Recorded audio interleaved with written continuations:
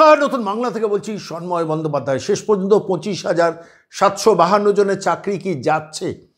যতক্ষণে এই প্রতিবেদন আপনাদের কাছে পৌঁছচ্ছে, হয়তো মহামান্য বিচারপতি দেবাংশু বসাক এবং আরেকজন মহামান্য বিচারপতি, তারা তাদের বিচার পর্ব মানে তাদের রায় পড়া শুরু করে দিয়েছেন। হয়তো আজকেই তার রায়, সম্পূর্ণ রায়টা ঘোষিত হয়ে যাবে।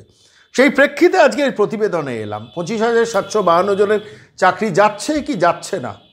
চলে গেল কি গেল না, আমি সেই বিষয়ে আসব না। কিন্তু যদি যায়, সেটা নিয়ে কিছু কথা বলা দরকার। যদি পঁচিশ হাজার সাতশো বাহান্ন জন দুর্নীতি করে যারা চাকরি পেয়েছিলেন বলে কথিত, তাদের চাকরি যদি কলমের খোঁচায় মহামান্য বিচারপতিদের কলমের খোঁচায় চলে যায়, তাহলে প্রথমেই যে কথাটা বলা দরকার এই দায়িত্বটা নিতে হবে মমতা বন্দ্যোপাধ্যায়, অভিষেক বন্দ্যোপাধ্যায় প্রাইভেট লিমিটেড কোম্পানিকে যদি না যায়, তাহলে আইনের ফাঁক দিয়ে তারা বেরোলেন। যদি যায় দায়িত্ব নিতে হবে মমতা বন্দ্যোপাধ্যায়, অভিষেক বন্দ্যোপাধ্যায়, তৃণমূল প্রাইভেট লিমিটেড কোম্পানিকে ভাবুন তো, আমি আমি গতকাল ভাবার চেষ্টা করছিলাম, গতকাল রাতে এই পঁচিশ হাজার সাতশো বাহান্ন জন গত কয়েক রাত ঘুমোতে পারেননি।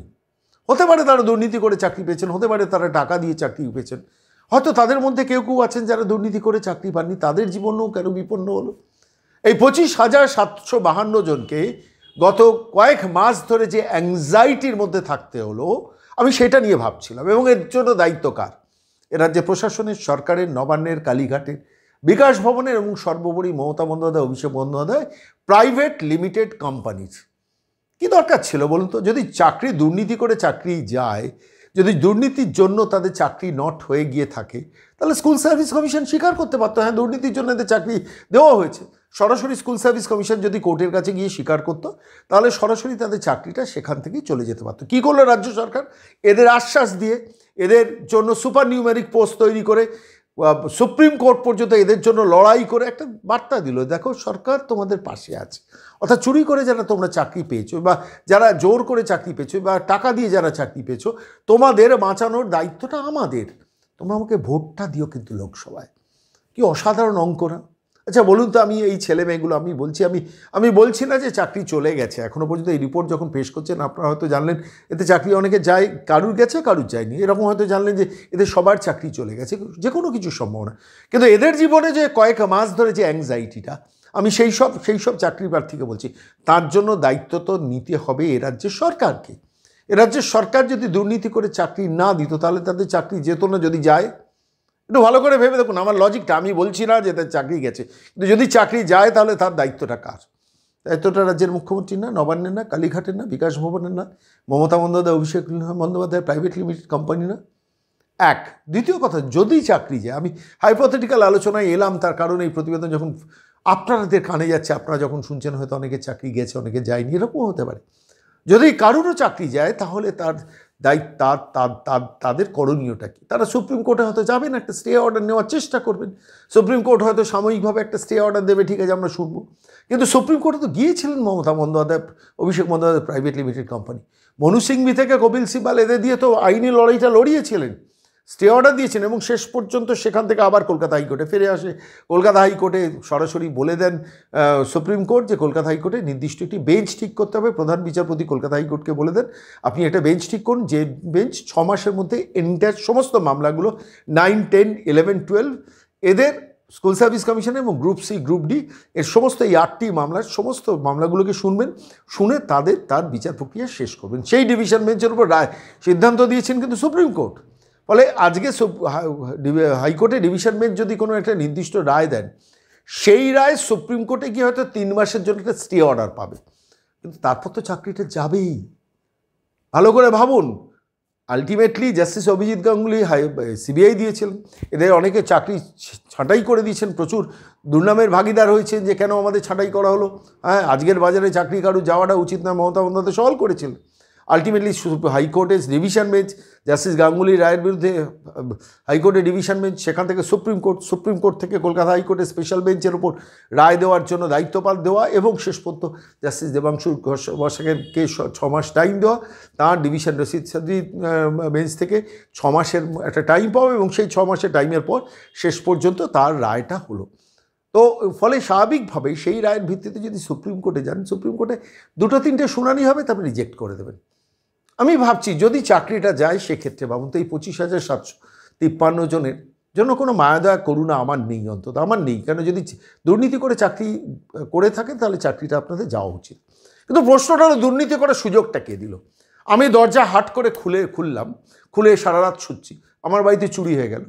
তাহলে যে চুরি করল তার যেমন দায়িত্ব, আমি দরজাটা হাট করে খুলেছি, আমারও দায়িত্ব।